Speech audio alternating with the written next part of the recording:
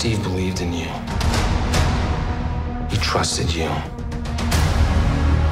Why'd you give up that shield? I did what I thought was right. The legacy of that shield is complicated. I am Captain America.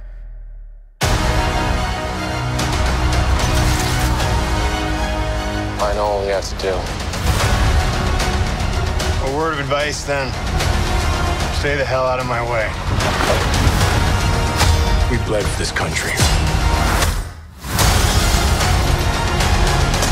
Shield or no shield.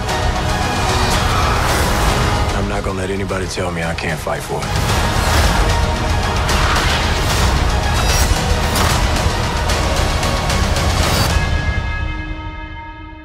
We don't want anyone else to get hurt.